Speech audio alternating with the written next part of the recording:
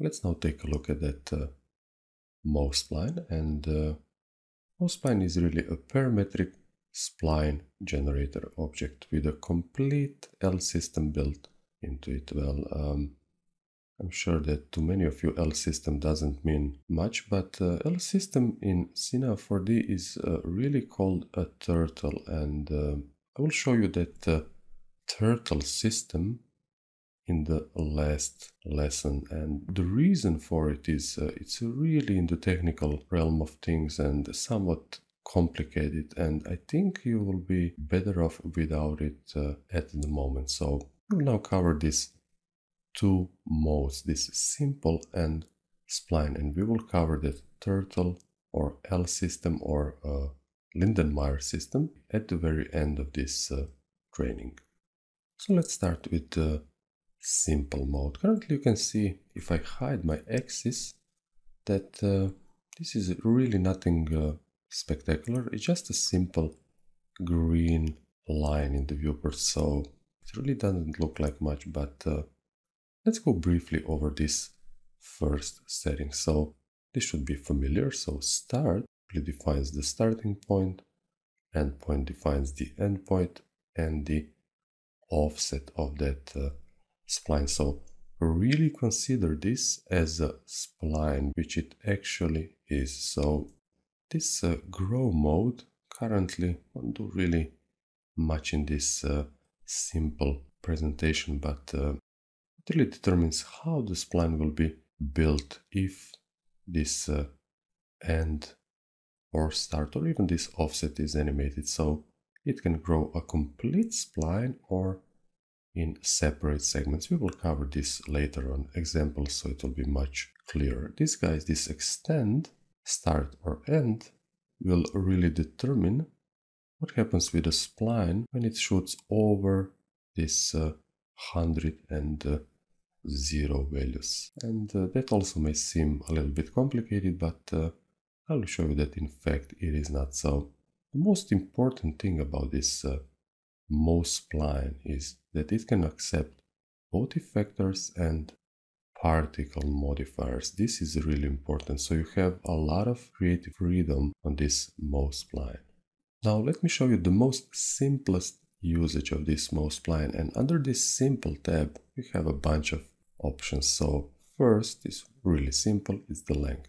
Steps is the number of points on that spline segments, if I will play with this value now, it will do nothing. But uh, once I start uh, playing with these settings, then it will all make sense. And this simply rotates this spline according to selected uh, axis. So it will rotate in uh, heading, pitch or bank direction. And uh, let's say if I set this to maybe say 180 and increase this segments. So I will get a new segment for each of these numbers. So completely new spline, relatively speaking. We can go really high, let's say 50. And this is still all parametric. You can control these guys. Let me just frame this a little bit. You can control these guys with this curve, bend, and twist. So you can curve those guys. You can bend them in any direction. You can already see that these are really, really interesting results. Or currently this twist won't do anything simply because the twist is twisting the spline in a direction we cannot see. So it's really twisting it like uh, this and you really cannot see the results. Let me undo that. If you enable other of these guys, you will see the result of that uh, twisting. So let's zero this out. This width is simply the width of this uh, spline in the viewport and it really determines the width of this if you drop this under another generator. So maybe I could show you that uh, all these effectors are working on that MoSpline. So let's uh, add uh, maybe a random effector and you will see the results. It's uh, chaotic. I will in fact create a fall off, let's say spherical, and uh, here under effector, I will change this to noise, so we have a temporal value, and we'll hit play and uh, you can see the result. So maybe I will move this guy upwards. So a really, really flexible tool. So maybe I can, uh, maybe I could even scale this noise and you will see that uh, it will deform it uh, a little bit different. So maybe this was a really good example for this scale of the noise. Let me stop this, go back. And I showed you this because I wanted you to understand that all these parameters still work. So regardless of uh, what you set in terms of effectors or the values you change here, you can change the segmentation. Those guys will still works. So that is really, really awesome. Let's stop this. And uh, let's in fact have a bit of fun with this. I will set this to 360 so we have a complete nice uh, circular MoSpline. I'll add a step effector to this and uh, under the parameters I will enable position and uh, I think that would be yes it would be Y so let's say 100 on Y. and uh, if you thought that uh, you're unable to set materials to your MoSpline then uh, you are wrong you can apply hair materials to your splines. So that means you can apply the material to most splines. So let's uh, create something uh, really simple. I will get rid of one, one of these and load just a simple color and apply this to our MoSpline. Now you won't see anything until I do a render and in fact you can see it really renders that spline red. Now, even though you have a bunch of settings here, those guys under any effector will still work. For example, you can map this to this spline graph, so you can create really interesting effects like uh, black holes and uh, stuff like that. So really, really powerful.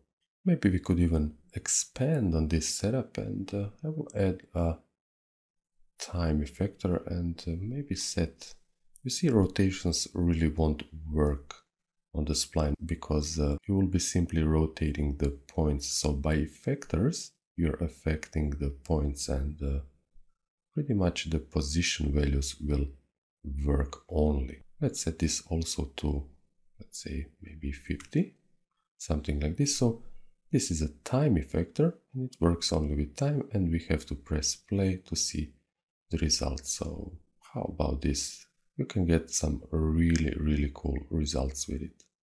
We stop this.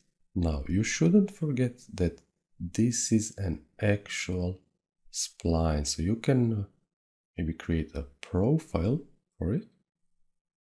You can also create a sweep NURBS and use this MoSpline as a path for this profile. So it will work. And uh, one thing that uh, is really important now, the width of this profile is controlled by the width setting on MoSpline. So let's enter maybe 5 here and uh, you can see the result.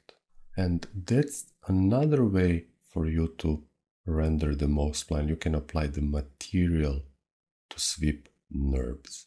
And this parametric approach where you set everything with values is really, really great. So you could even set this uh, hand scale let's say 10, and these guys will work as expected. Currently, this MoSpline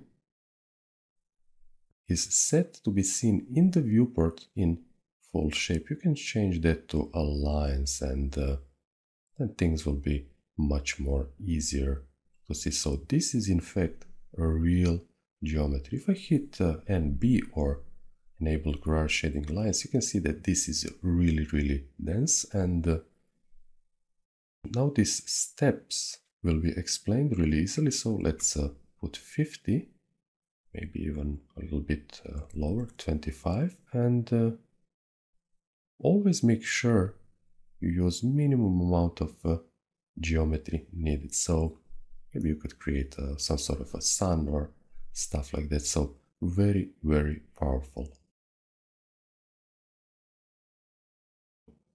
How about this? Imagine doing this by hand. This is uh, simply a nightmare, even if it is uh, possible, but I highly doubt it.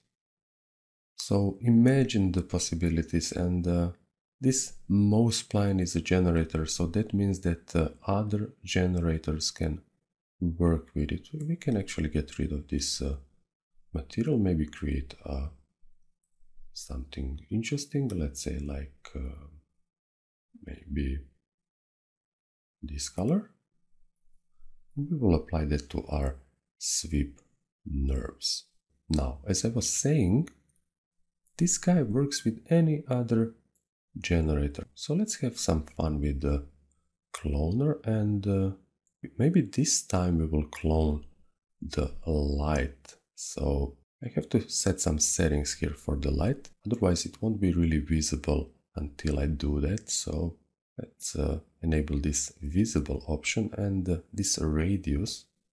You can see if I do a render now that that light is really wide and uh, I have to tune this outer distance to let's say maybe 50 let's go even lower maybe 30 and if I render now you will see that this light is uh, much smaller which is in fact very good.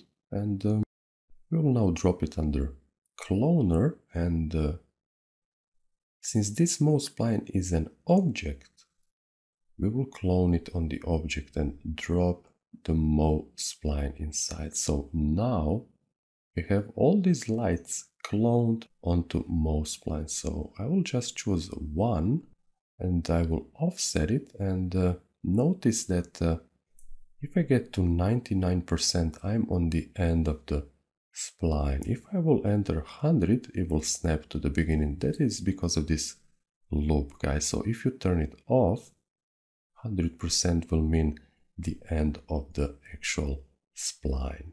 Now let's do a test render and see what do we have and uh, this is the result and actually we could uh, make this a little bit more interesting and add uh, certain lens effects so maybe we will add uh, let's try this purple one. I think that would be really good enough. And uh, the brightness is okay but but the scale of these guys should be lower. So let's say 50% maybe even 30 like this. And uh, yeah, th this should uh, be acceptable. This uh, in fact looks really nice. And I'm pretty sure you can already imagine lots of lots of uh, applications for this guy and how flexible how vast this uh, MoSpline system is so maybe go a step further with this setup since I want to show you that uh, you can load particle modifiers here. So particle modifiers in uh, release 13 are here under simulate particles. So let's actually tear off this menu and uh, let's choose any of these guys. So maybe I will go with the turbulence. So if I hit turbulence, unfortunately Cinema4D doesn't automatically load particle modifiers into fields, so you will have to do that manually, so I will drag this into fields and make sure you enable include, so it will include this turbulence into a simulation. So you can see that uh, this guy changed and uh, if you press play, you will see that effect live and this is a little bit uh, odd, so let's increase the scale. Something like uh, 500 will do. So let's enter 500 here. And this is a really, really interesting effect. And I think I will lower this uh, frequency. Let's go even lower. So maybe like uh, 35 or something like that. So the effects you can achieve with this are simply stunning. So something like this. How about this? This looks really, really cool. So maybe we could even uh, get rid of this uh, sweep NURBS. Once again, load a hair material. Go with hair material and uh, turn everything off. Uh, get rid of one of these guys, load maybe a red color and I will apply it to my Mo spline. So if I hit render now, you can see that uh, this is somewhat of a different effect. And uh, if you were maybe wondering why these guys are on the middle of the spline, even though we set it uh, 100% offset here, the reason is this uh, two effectors. So, because the time effector is really moving this spline in time and uh, this cloner should happen after these two guys. I really hope that makes sense. So if I move this guy down, you will see the difference. So now it's aware of uh, that uh, position information value from these two guys that are applied to mo most splines. So this is really important. Those priorities can really drive you insane, especially in rigging, but uh, in MoGraph that can happen too. So now, if I press play, we have a really nice and interesting effect. So it can be some sort of a crazy dimension portal or a deep sea jellyfishes or something like that. Let's in fact render a really, really small animation. So I will just uh, set anti-aliasing here to best. Let's leave it at that and I will make a preview. So let's go with double of this size and uh, we can leave everything else uh, at default. I will hit OK and uh, I'll give it some time and pause the video until this guy calculates uh, the preview. So, and here we are at the end and uh, let me scale this uh, picture viewer and let's hit play and see how that looks like. So this is a really interesting effect and uh, I really encourage you to explore this uh, Mo spline because it's simply mind-blowingly fantastic.